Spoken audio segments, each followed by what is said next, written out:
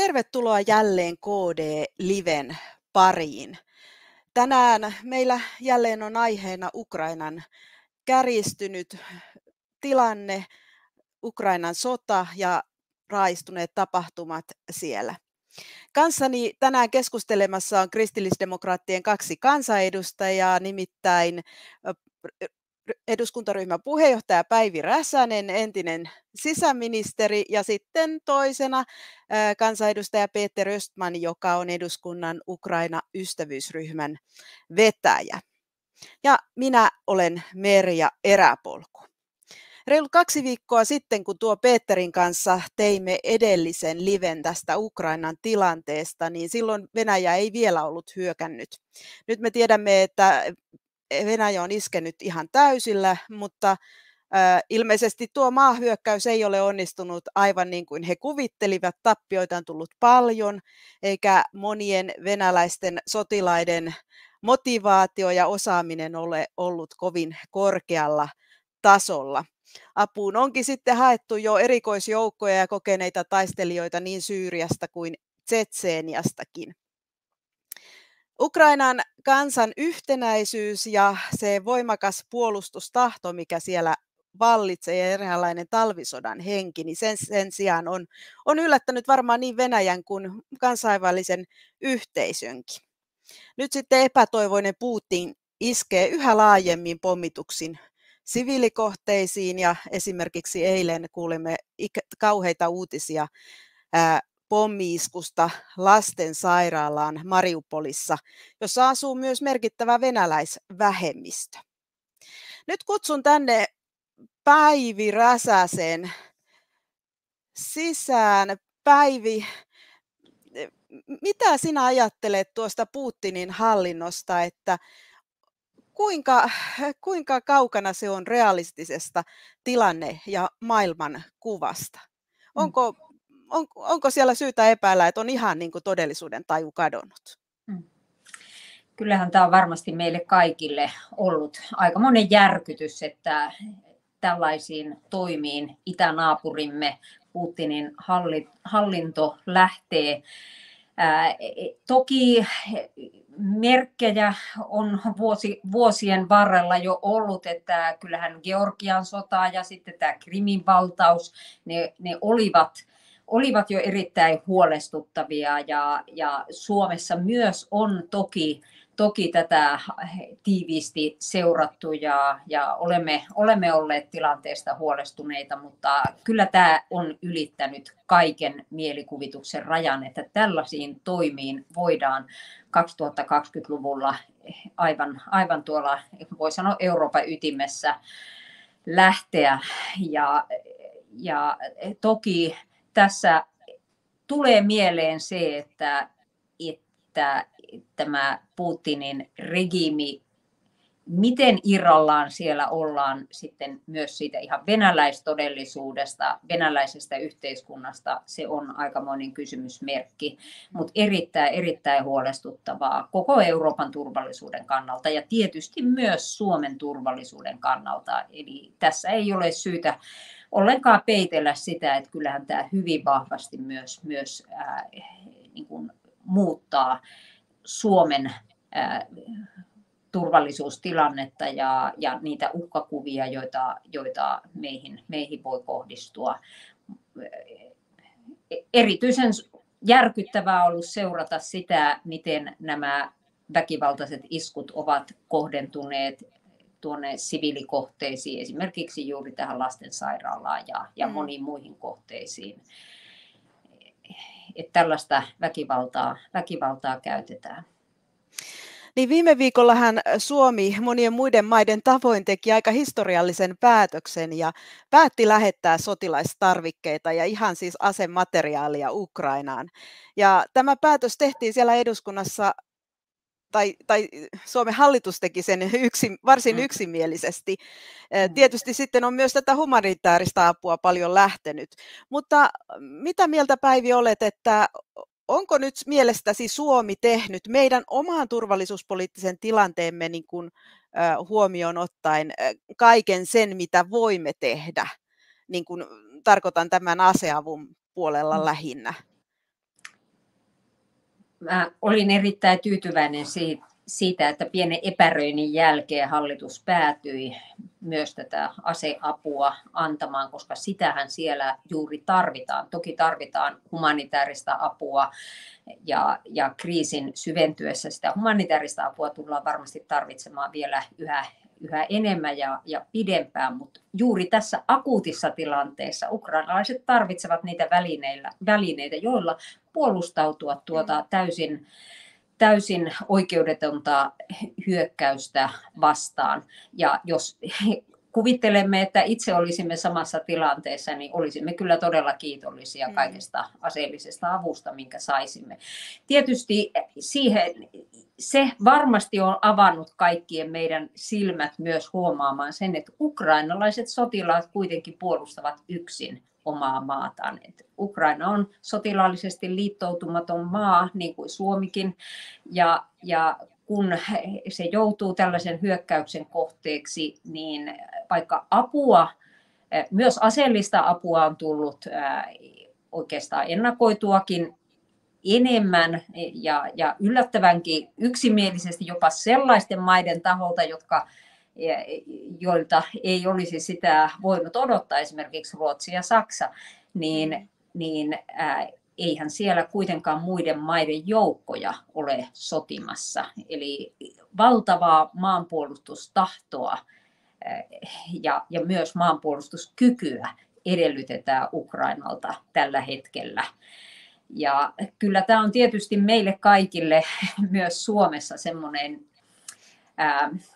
muistutus siitä, että Suomenkin turvallisuus kaikissa oloissa, olipa se meidän liittoutumistilannekin sitten mikä tahansa tulevaisuudessa, niin se pohja ja perusta on siinä, että meillä on vahva kyky puolustaa omaa maatamme. Meillä on koulutettuja joukkoja, meillä on koulutettua henkilöstöä tuolla puolustusvoimissa, meillä on osaavaa reservi, ja, ja kertausharjoituksia ja meillä on myös sitten sitä teknologiaa ja, ja aseita riittävästi. Eli, eli se oma puolustuskyky on, on joka tapauksessa se pohja ja perusta. No, olisiko Suomi voinut enemmän tai voisiko enemmän auttaa ja, ja esimerkiksi antaa aseita. En ole itse siinä asiantuntija, että varmasti puolustusvoimat niin kuin pystyy sen arvioimaan, että, että kuinka paljon on syytä meidän tällä hetkellä, voi sanoa tässä myös Suomen kannalta epävarmassa tilanteessa pitää sitä omaa aseistusta valmiudessa, mutta kyllä uskoisin, että sitä mahdollisuutta on, että onhan meillä kuitenkin myös tätä teollisuutta, aseteollisuutta ja, te, ja, ja, ja niin kuin mahdollisuus tuottaa, tuottaa näitä, näitä lisää tarvittaessa, että Joo. Mutta tässä luotan kyllä nyt tähän, niin. tähän puolustusvoimien ja hallituksen, hallituksen hyvään harkintaan. Nyt kutsun tässä äh, sisään myös kansanedustaja Peter Östmanin, ja Peter hän on siis, kuten tuossa alussa mainitsin, niin eduskunnan Ukraina-ystävyysryhmän puheenjohtaja. Hei Peter. Hei hei. No niin, nyt mä heitän teille tämmöisen aika kovan kysymyksen, tai en tiedä onko tämä kova, tätä teiltä on kysytty varmaan vaikka kuinka paljon. Tuota, presidentti Niinistö ja puolustusministeri Kaikkonenhan ovat juuri vierailleet USAssa ja keskustelu on käyty muun muassa siitä, että hakisimme tämmöistä, tämmöistä nykyistä parempaa NATO-kumppanuusasemaa. Ja kuten tiedämme, monien kansalaisten näkemykset niin Suomessa kuin Ruotsissakin ovat nopeasti muuttuneet paljon NATO-myönteisemmiksi ja nyt ihmiset ovat huolestuneita siitä, että annetaanko ikään kuin tämän poikkeuksellisen tilanteen mennä ohi niin, että e, eduskunta ei riittävän nopeasti ikään kuin reagoi, että siellä on tehty näitä kansalaisaloitteita ja muita. Eli onko teidän mielestänne nyt eduskunnassa jo tarpeeksi niin kuin alettu pohtia tätä NATO-kysymystä? Ja entä miten sitten kristillisdemokraateissa? Meillähän on nuorisojärjestö monta kertaa äänestyttänyt ja aina, aina ne ovat hävinneet tämä kaikista NATO-myönteisimmät, mutta se on ollut ehkä noin 40-60 prosenttia se voimasuhde. Joo, heititpä helpon kysymyksen, mutta se ei olekaan niin helppo, koska jos asia olisi helposti ratkaistavissa, niin Suomi voisi mahdollisesti olla jo NATO-jäsen. Itse edustan sitä linjaa, että jo 30 vuotta sitten, kun Baltian maat liittyivät, niin olisi pitänyt liittyä, mutta se on myöhäistä nyt sitten surra sitä, sitä aikaa, koska ensinnäkään en, en ollut mukana päättävässä asemassa silloin, ja ne, jotka silloin tekivät sen päätöksen, vastaavat siitä, mutta nyt sitten on ollut pitkään tällainen tilanne, että me kun tätä NATO-keskustelua on käyty ennen tätä kriisiä, niin aina on sitten viitattu siihen, niin kuin meidän omassakin puolueohjelmassamme tai tavoiteohjelmassamme, niin olemme viitanneet sitten kansanäänestykseen. No osa kansasta on sitä mieltä, että tämä on niin vaikea asia, että ei, ei tavallinen kansalainen, jolla ei ole sitä taustatietoa ja osaamista, niin ei voi sitä asiaa päättää, koska tunteiden varassa ei pidä tehdä tällaista vakavaa päätöstä. No nyt sitten on vasta viime aikoina on selvinnyt se, että NATO-maat, ne jotka joutuvat tai pitävät hyväksyä uuden jäsenmaan haun, niin he edellyttävät sitä, että hakeva jäsenmaalla on myöskin kansan enemmistön tukea. No tarkoittaako tämä sitten kansanäänestystä vai riittääkö tällaiset yleiset gallupit, mitä nyt tehdään viikoittain ja eri mediat kysy, kysyvät sekä meiltä edustajilta että kansalaisilta, että mitä mieltä olette, pitäisikö Suomen hakea NATO-jäsenyyttä ja pitäisikö se tapahtua nopeasti periaatteessa huomenna niin ne on aika vaaralliset tällaiset kysymykset, erityisesti tällaisessa tilanteessa, koska ei kukaan pysty sitä asiaa ratkaisemaan yhden yön ylitse. Mutta tosiaan nyt kaikki eduskuntapuolueet käyvät vakavaa keskustelua ensinnäkin sisäisesti, mutta myöskin puolueiden kesken ja, ja pohditaan, että mikä olisi se ma- mahdollinen tiekartta tästä eteenpäin. Mutta edelleen sanon sen, että en ole vakuuttunut siitä, että juuri silloin, kun on tällainen paha kriisitilanne päällä, jossa on valtavat riskit myöskin, että se voisi eskaloitua. Pienikin provokaatio saattaa johtaa tilanteen kärjistymiseen ja eskaloitumiseen, niin en ole vakuuttunut, että juuri nyt tänään tai ensi viikolla on se oikea hetki, mutta nyt on oikea hetki käydä tätä pohdiskelevaa ja analyyttistä keskustelua tota, asiantuntijoiden kanssa, mutta myöskin ylimmän valtionjohdon kanssa. Niin tänähän puolueiden puheenjohtajat olivat tavanneet jälleen presidenttiä ja presidentti tiedotustilaisuudessa sanoi, että ei oli sovittu yhdessä, että ei viivytellä, että ollaan nopeasti liikkeellä, mutta kuitenkin harkitusti ja huolellisesti.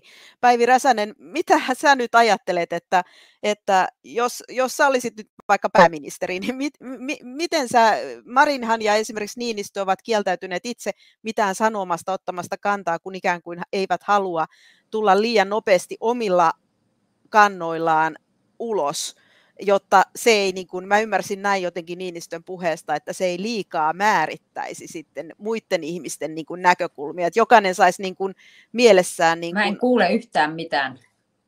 Harkita. Tänne ei kuulu nyt mitään, sun ääni. Oho, no niin. Kuuleeko Peter? Minä kuulen. Kuuluuko minun ääneni? Kuuluu. Minä kuulen Päivin äänen siis jostakin syystä sun ääni hävisi täysin, Merjan ääni yhtäkkiä, mutta tuota, mä voin yrittää arvata, mitä sä kysyit. Okei. Okay. tuota, jos jatkan tuosta, mihin Peter, Peter tuota, jäi, niin jaan kyllä niin kuin, hyvin pitkälle tuon Peterin ajattelu ja, ja kyllä tällä hetkellä tosi tärkeää on tietynlaisen kansallisen yhtenäisyyden varmistaminen ja, ja, ja vahvistaminen, koska ää, päädytäänpä sitten siihen, että jonkun prosessin seurauksena liittyisimme NATOon tai jollakin muulla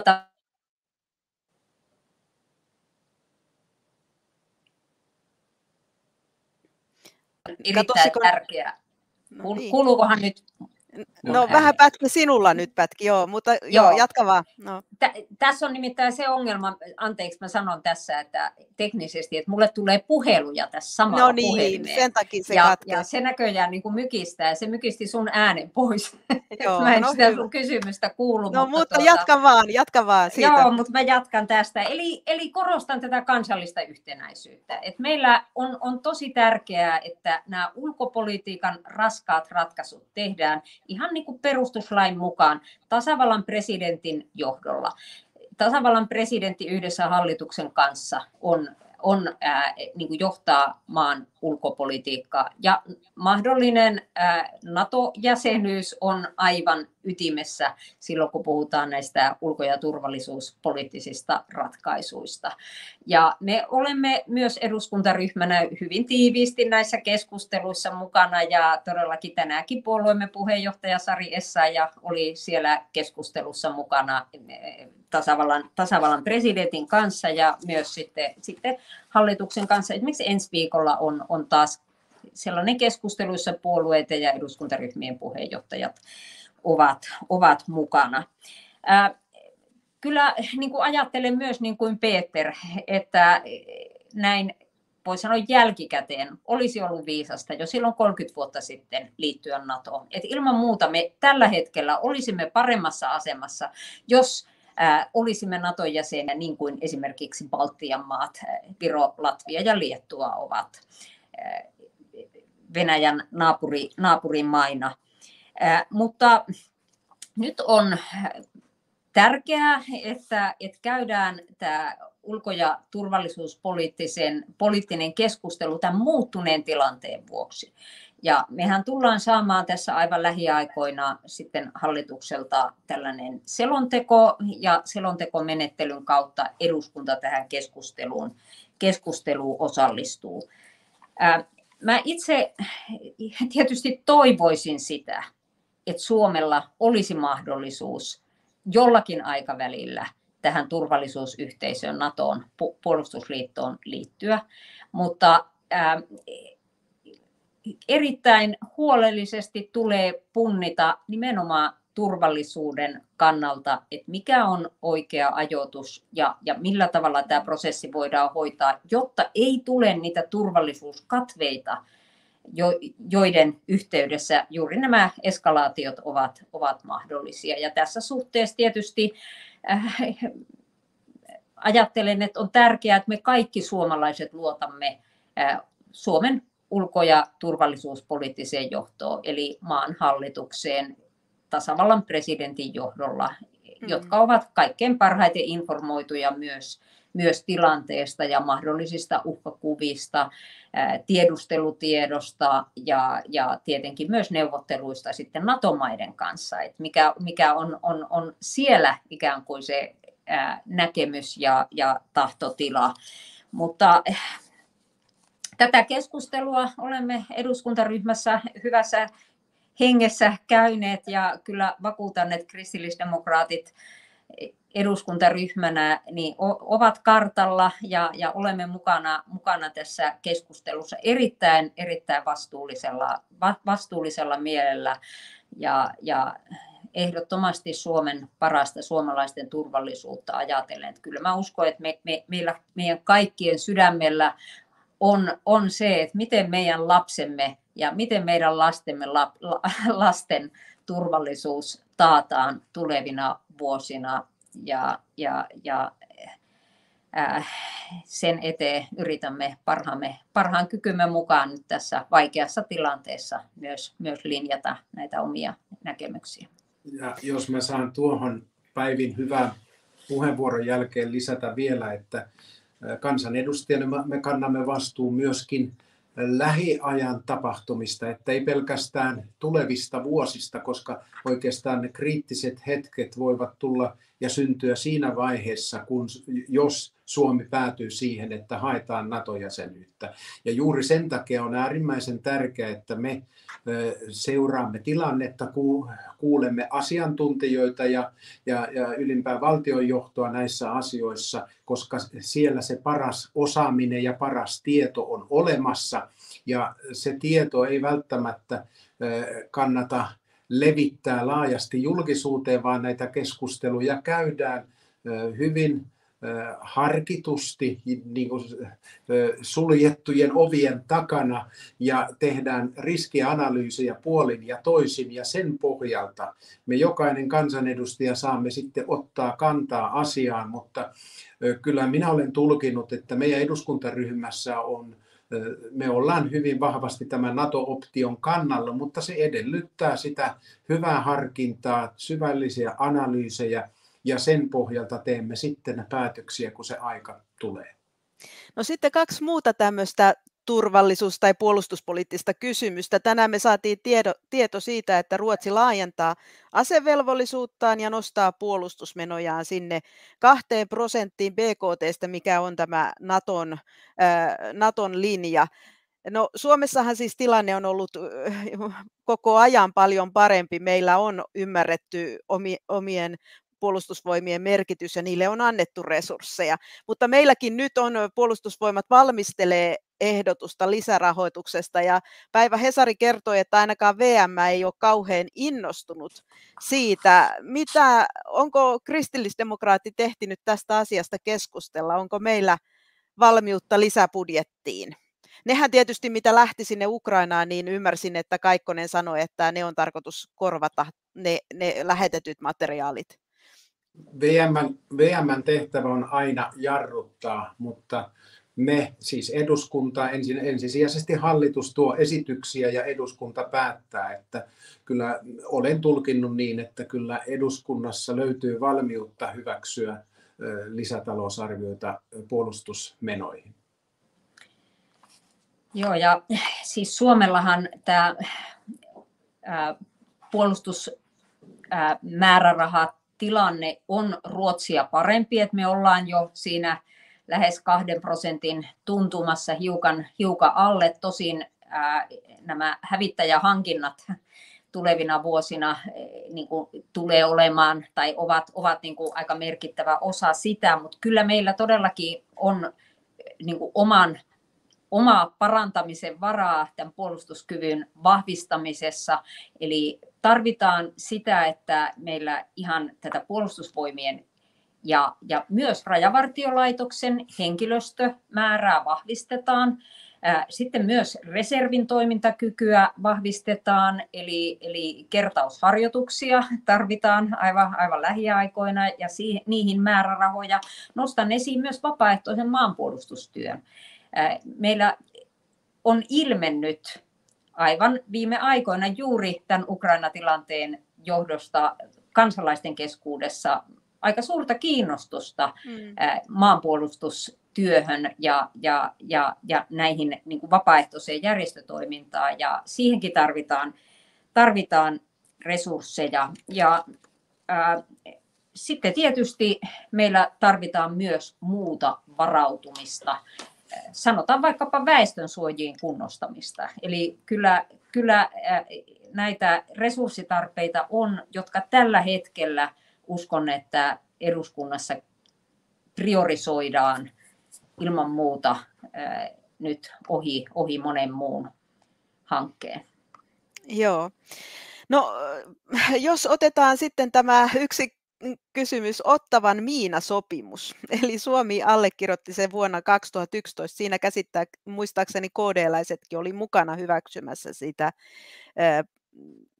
Nyt, nyt kuitenkin tämä sopimus, joka tarkoittaa siis maamiinojen käyttökieltoa, on jälleen nostettu esille. Miten Päivi olisiko syytä tästä sope, sopimuksesta irtautua, vaikka jos mä ymmärsin oikein, niin ainakaan tuolla puolustusvoimissa ihan hirveän korkealle prioriteettilistalla sitä asiaa niin kuin nostettu? No, meillähän on ihan puoluekokoustason päätös siitä, että tästä ottavan sopimuksesta tulisi irrottautua. Ja kyllä meillä eduskuntaryhmässä siihen on valmiutta, että, että se asia tarkasteltaisiin uudestaan, koska Suomessahan näitä maamiinoja, jalkaväkimiinoja on, niin kuin käytetään lähtökohtaisesti hyvin vastuullisesti. Eli tiedetään täsmälleen, mihin ne, ne on laitettu ja ne, ne, ne pystytään turvallisesti myös poistamaan. Ja, ja siinä mielessä niin kuin tästä tilanteesta katsoen, niin täytyy sanoa, että väärä päätös oli tämä, tämä ottavan sopimukseen liittyminen. Mutta todellakin puolustusvoimat komentaja Kivisen johdolla on ottanut aivan hiljattain kantaa asiaa ja todennut, että, että tämä, nämä jalkaväkimiinat on korvattu muilla korvaavilla miinoituksilla ja, ja, ja puolustuskyvykkyydellä. Ja kyllä mä ajattelen, että me emme eduskuntaryhmänä ole kuitenkaan se paras asiantuntija arvioimaan sitä, että minkälaista välineistöä tarvitaan tässä puolustuksessa. Että tässä, tässä haluan luottaa meidän asiantuntijoihin ja meidän puolustusvoimiin. Katsotaan tilannetta. Uskon, että tästäkin vielä keskustellaan, koska puolustusvoimien ylipäällikkö, tasavallan presidentti kuitenkin suhtautui suhtautui ihan hiljattain haastattelussa, minä ainakin ymmärsin hänen, hänen vastauksensa niin, että hän piti näitä jalkaväkimiinoja periaatteessa aika niin kuin hyödyllisinä välineinä, mutta uskon, että tästäkin asiasta vielä, vielä käydään keskustelua. Me olemme kyllä varmasti valmiit siihen, että, että tästä sopimuksesta irrottaudutaan, jos, jos siihen, siihen sitten päädytään asiantuntijoiden ja hallituksen toimesta. Joo, no jos mennään eteenpäin näissä teemoissa, tässä on aika paljon asian ympärillä, niin nythän länsimaailma on niin kuin ikään kuin hyökännyt Venäjää kohtaan näillä kovilla talouspakotteilla ja yritykset ovat vetäytyneet pitkälti Venäjältä, länsimäiset yritykset. Osaatteko pelätä sellaista, että sitten kun nämä Venäjän talouspakotteet ikään kuin is, iskevät takaisin länsimaihin, niin käykö, käykö niin, että kun täällä nyt sitten inflaatio, huoltovarmuusongelmat ja tällaiset länteen takaisin kohdistuvat taloudelliset ongelmat tulevat vastaan, niin, niin alkaako tämä läntinen liittouma niin kuin, tai tämä läntinen rintama, joka nyt Ukrainaa puolustaa näillä talouspakotteilla, niin murentua. Et onko se se, että Putinilla tavallaan on ylpeys tässä, että hän voi pistää kansansa kärsimään vaikka kuinka paljon, mutta, mutta sitten, sitten tota, täällä lännessä ei sellaista niin kuin ikään kuin kestetä. Se on selvää, että ennen pitkään niin kyllä tämä tulee myöskin koettelemaan myöskin EU-jäsenmaiden ja kansalaisten kärsivällisyyttä, että miten paljon me kestämme, mutta kuitenkin kun tähän sanktiolinjalle lähdettiin, niin jos muistatte, niin ensimmäisessä vaiheessa monet kritisoivat ja sanoivat, että nämä on aivan liian pehmeitä, että nämä eivät mm. tule puremaan, mutta selvää on se, että kyllä ne purevat, koska ne iskee ensisijaisesti Venäjän talouteen, mutta ennen pitkään sitten ne heijastuu myöskin meidän päässä. Mutta niin kuin pääministeri sanoi minusta hyvin, e, ihan tässä reilu viikko sitten, kun hallitus piti tiedotustilaisuuden, että me olemme valmiit maksamaan tästä kovan hinnan. Me tiedämme, että nyt on, on vakava aika ja aikakausi meneillään ja parempi on se, että me olemme, pidämme huolta kansalaisten turvallisuudesta ja maksamme hinnan siitä, kuin se, että, että sota lähtisi eskaloitumaan ja laajenemaan. Tiedän, että Päivi Räsänen joutuu piakkoin lähtemään, niin mä kysyisin oikeastaan sellaista, että kun monet ukrainalaisethan eivät mitenkään kyenneet uskomaan, että oma veljeskansa voi hyökätä maan kimppuun, ja siellä niin kun, e, varmaan tämä liikelle, liikkekannalle panokaan ei toteutunut kovin ajoissa sen takia. No nyt kun Venäjällä tuntuu vallitsevan ihan täysi hulluus, siis tarkoitan siellä johdossa, ja siviiliväestöä tuhotaan surutta ydinvoimaloiden rakennuksia, pommitetaan ja niiden sähköä katkaistaan ja näin poispäin, niin me, me Suomessa olemme tietysti myös huolissamme, niin onko Päivi sinun mielestäsi nyt sisäministeriö ja niin kuin Suomessa viranomaiset lähteneet riittävästi toimenpiteisiin tämän meidän oman varautumisen osalta, jos tapahtuisi niin, että tässä, tässä myös me, meihin kohdistuisi muuta kuin tällaista nyt tämmöistä, mitä on pientä tämmöistä kyberhyökkäystä ja tällaista. Eli onko varautuminen lähtenyt etenemään mielestäsi hyvin? Mä pahoittelen, kuuluuhan mun ääneni? Nyt kuuluu. Mulla nimittäin kävi taas niin, että en Joo. kokonaan, mutta mä yritän taas arvata, arvata kysymyksen ja vastata siihen. Eli varautumisen. Kyllä, että miten se on lähtenyt etenemään? Sulla soi puhelin siellä koko aika selvästi. No niin, kuullaanko me nyt? Voi voi. Nyt sä Päivi olet linjolta pois. No mitäs Peter sanot? Mitäs Peter sanot?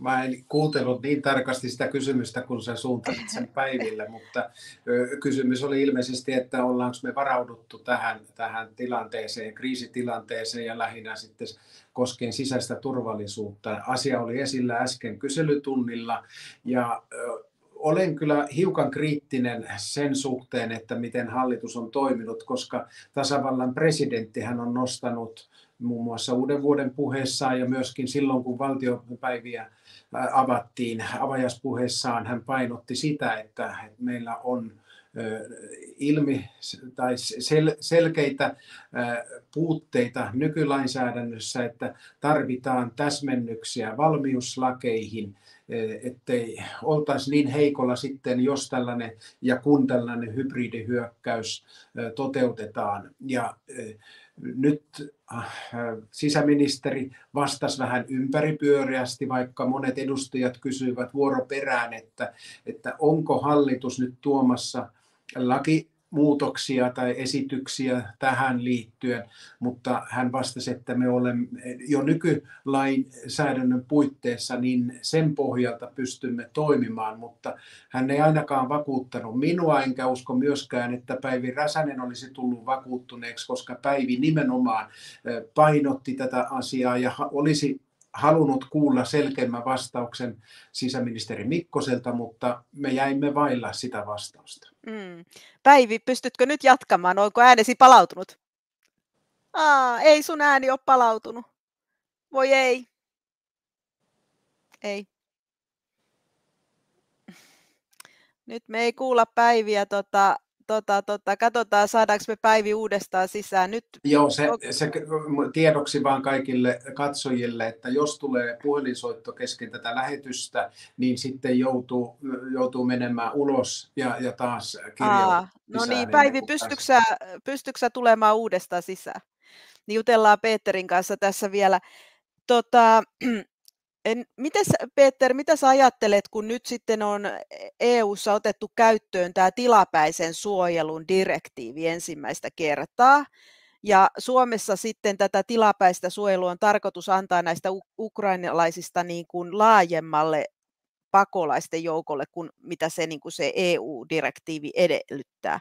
Niin Onko, mikä käsitys sulla on, kun olet yhteydessä ukrainalaisiin, Ukraina, Ukraina suurlähetystöön ja muuta, että onko nämä valmistelut tänne mahdollisesti tulevia pakolaisia varten niin alkaneet hyvin, lähteneet käyntiin?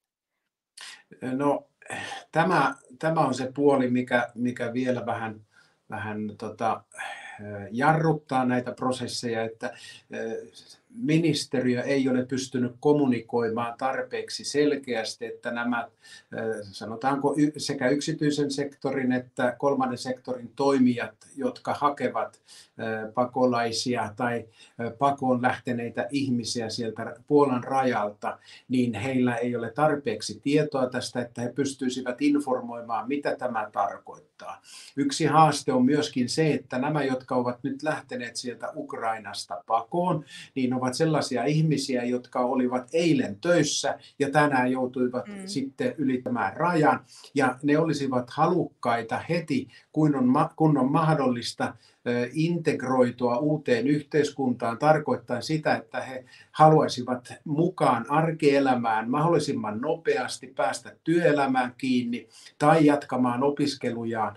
Ja kaikki tämä on mahdollista, mutta se tieto ei ole kulkenut. Ja sitten toinen asia, mikä, mikä on Suomen haaste, on se, että meidän maabrändi ei ole välttämättä niin niin houkutteleva tällä hetkellä osittain johtuen meidän maan maantieteellisestä sijainnista, että jotkut ukrainalaiset ajattelevat, että onko edes turvallista tulla Suomeen. Mm. Mutta meillä on toki niitä ihmisiä, joilla on sukulaisia ennestään täällä Suomessa ja, ja tulevat, jos he saavat sen oikean informaation mutta tässä on, on selkeä tietokatko ja mä olen yrittänyt puhua tästä asiasta sekä sisäministerin että ulkoministerin kanssa.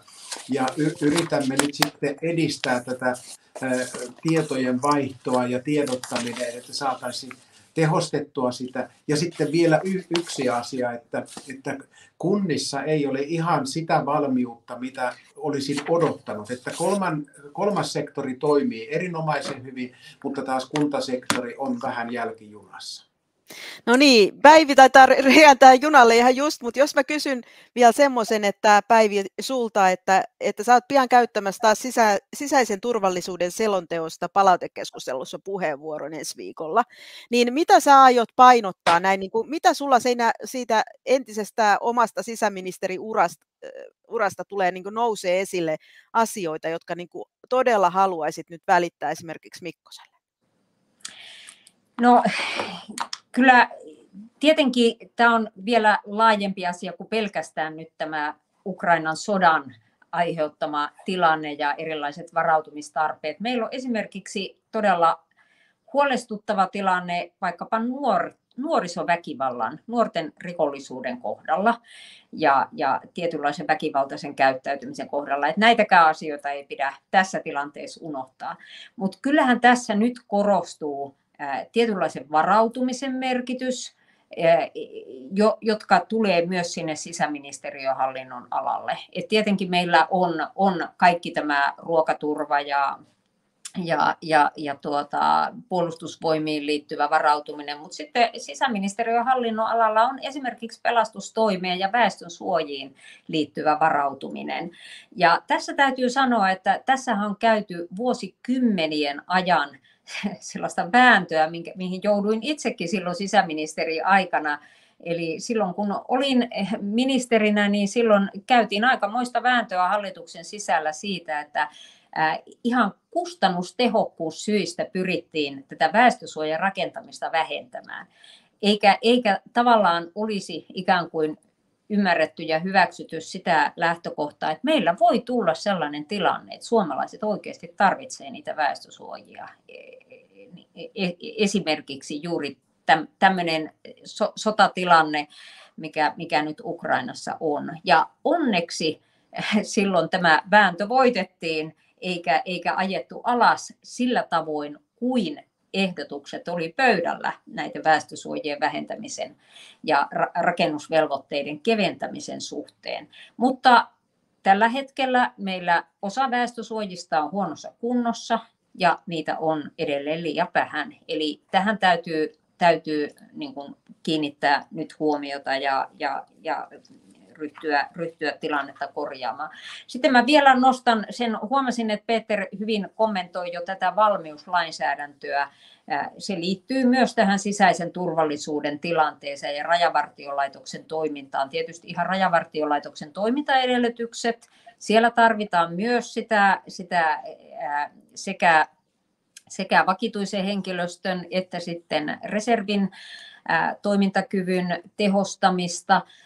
Mutta sitten me tarvitaan myös sellaisia muutoksia ihan, ihan rajavartiolakiin ja valmiuslakiin, jolla pystytään näihin hybridiuhkiin vastaamaan.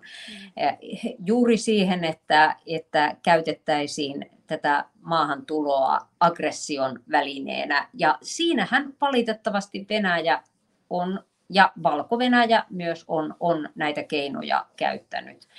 Ja, ja siinä tarvittaisiin ihan yksinkertaisesti lainsäädännön muutosta niin, että, että tilapäisesti voitaisiin luopua tästä turvapaikkatutkinnasta silloin, kun on, on kysymyksessä tällainen hybridihyökkäys.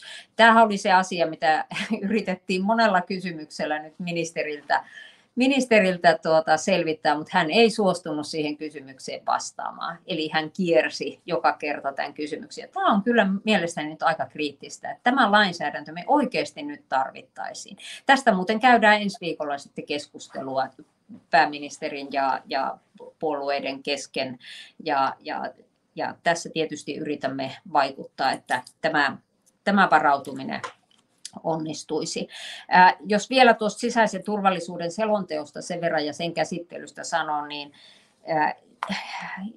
siinä hallituksen, hallituksen selonteko, joka oli ministeri Ohisalon antama, niin se oli, voisi sanoa, varsin pehmeä paperi näihin meidän, meidän niin kuin turvallisuustarpeisiin nähden, ja se näyttäytyy nyt vielä tässä tilanteessa vieläkin pehmeämmältä, eli, eli äh, hyvin, hyvin tällaiselta, voi sanoa niin kuin puoluepoliittis, politiikan sävyttämältä ja, ja ideologiselta, jossa, jossa niin kuin, äh, voi sanoa painopiste on enemmän kaikenlaisissa gender-kysymyksissä kuin sitten varsinaisessa siinä turvallisuuspolitiikassa ja sisäministeriön hallinnon alassa.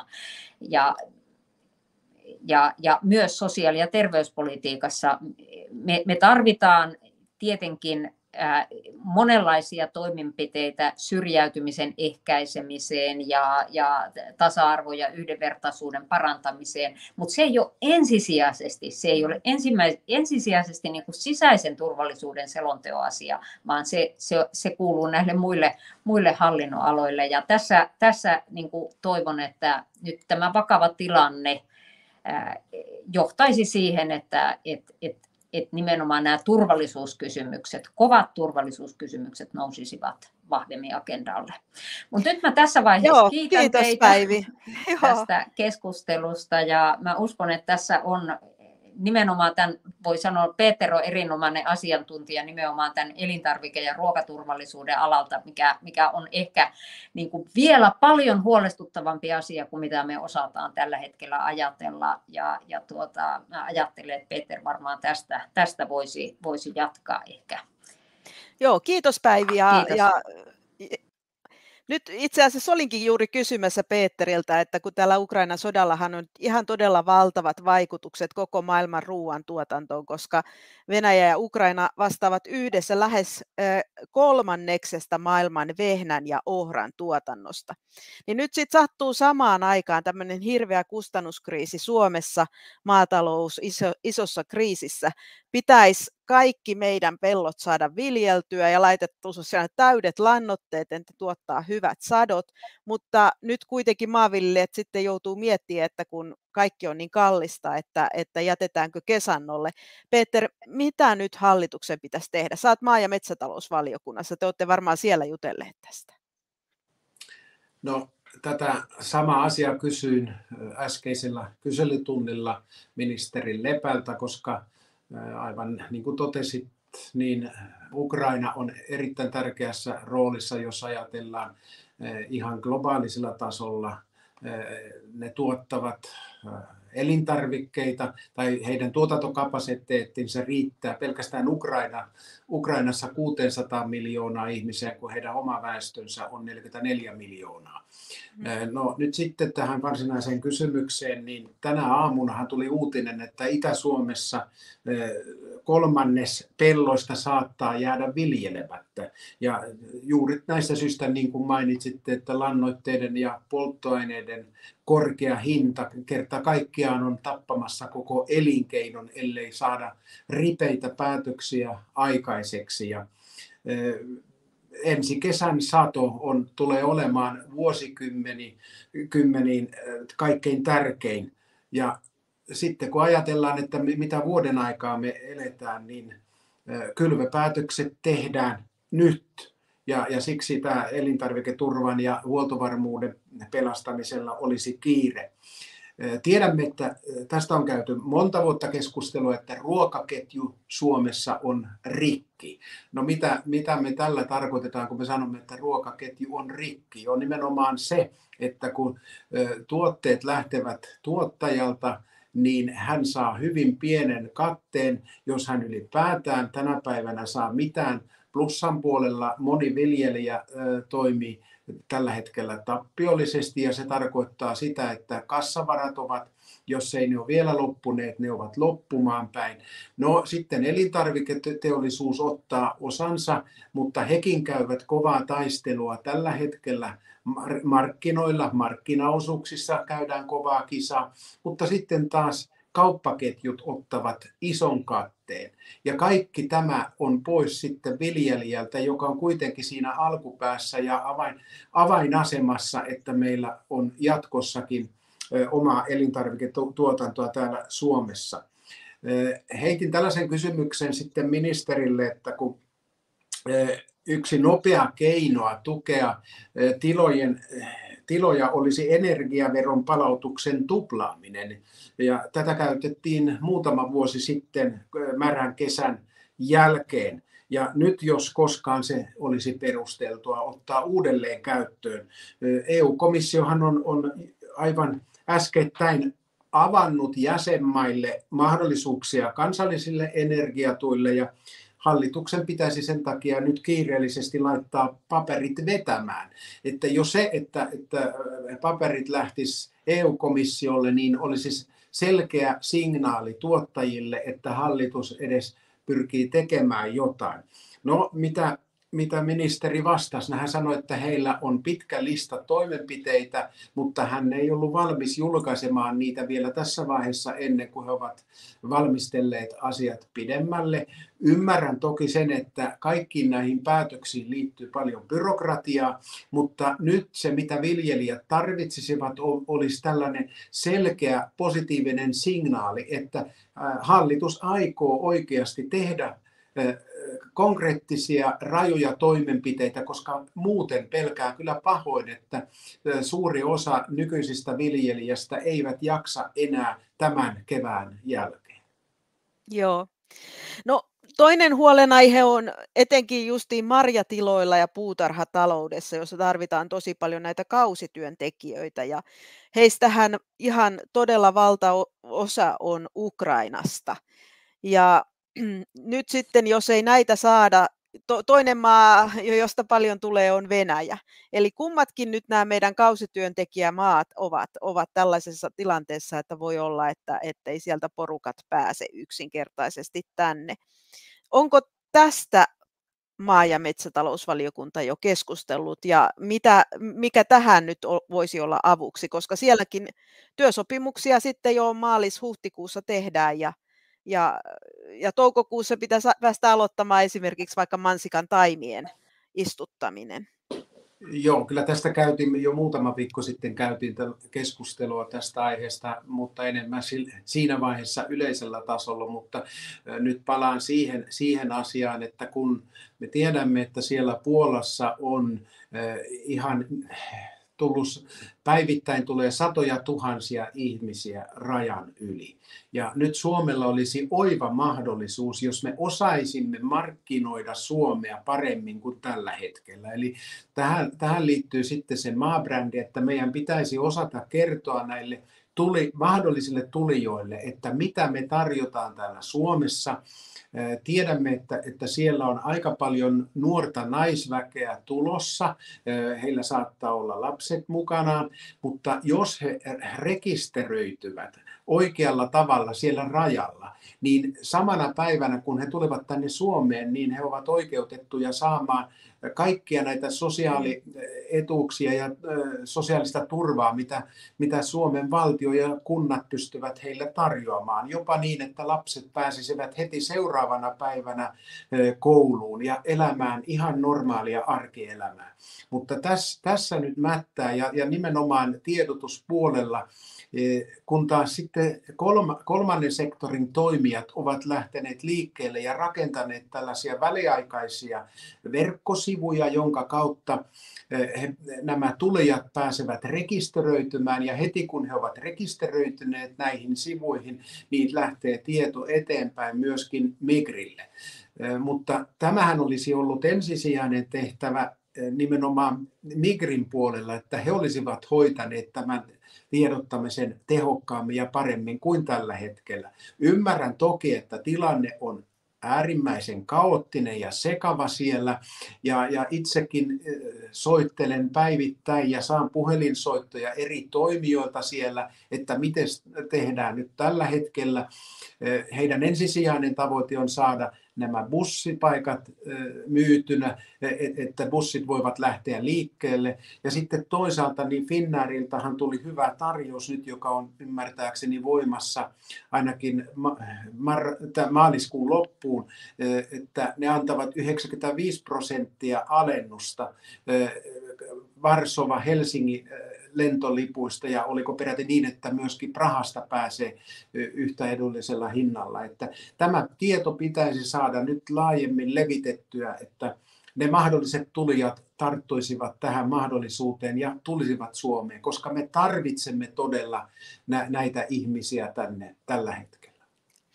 Niin Peter Östman, meidän aika päättyy ihan juuri, mutta kysyn sulta vielä muutaman kysymyksen, kun sä olet todellakin jatkuvasti yhteydessä muun muassa näihin Ukrainan parlamentin jäseniin, jotka käsittääkseni siellähän nyt nehän on kokoontunut, presidentti, hänen puolisonsa, kaikki, pääministeri, kaikki ovat jatkuvasti yhteyksissä, niin kuin, yhteyksissä sieltä. Nyt, mistä voivat, voivatkaan olla ihmisiin. Ja siellä itse olen seurannut todella paljon Twitteriä, näitä ukrainalaisten ja venäläisten Twitter-tilejä. Ja jotenkin se ukrainalaisten niin kuin se henki, miten ne kannustaa siellä toisiansa, niin se on kyllä suorastaan uskomaton, että siellä on semmoinen meneillään. Mutta mit, mikä, mitä nyt esimerkiksi nämä ukrainalaiset poliitikot, joiden kanssa sinä olet yhteyksissä, niin mitä he välittävät meille? Paitsi tietysti tätä hirveää hätäänsä ja vetoavat, että lännen pitäisi enemmän nyt aseellisesti tarttua tähän ja tehdä tämä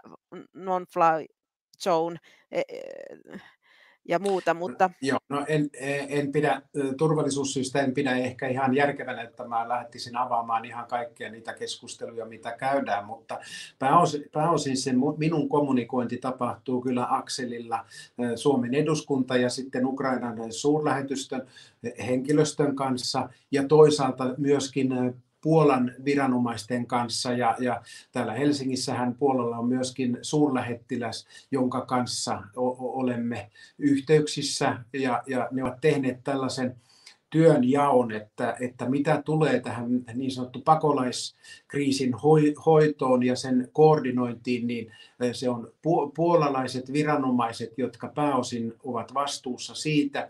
Ja, ja sitten taas Ukraina suurlähetystössä on konsuli, joka, joka toimii ja, ja hän on hyvin tiivisti yhteydessä minuun ja puolin ja toisin voidaan nopeasti saada yhteyttä ja kun tulee sellainen tilanne, että pitää ratkaista joku asia. Että Ihan... ne asiat liikkuvat hyvin konkreettisella tasolla. Joo, hyvä. Se onkin tärkeää juuri tällaisessa tilanteessa. Hei, tuota, äh, Peter Östman, ihan lopuksi minä kysyn, kysyn sulta semmoisen, kun, kun tuota, äh, Tänään oli eduskunnan tai parlamentin kansallinen rukousaamiainen. Sen, sä olit yksen tapahtuman kutsujista.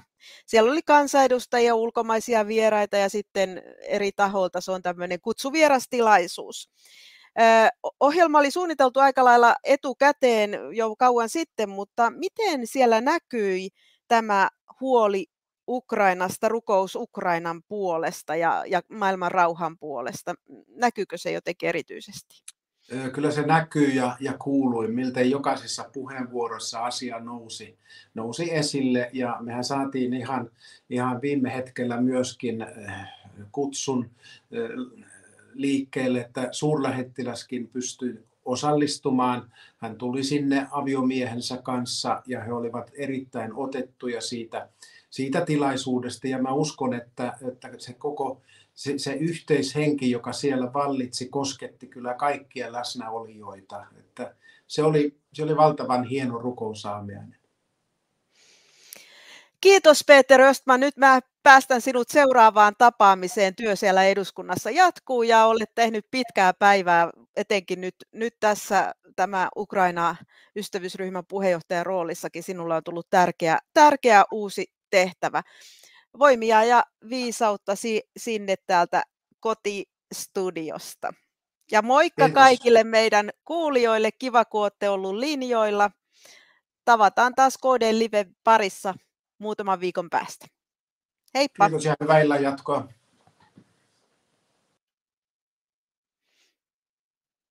Ja nämä meidän live-lähetykset hän jäävät katsottaviksi tuonne KDn kristillisdemokraatit Facebook-sivulle ja sitten KDn YouTube-kanavalle. Kiitoksia.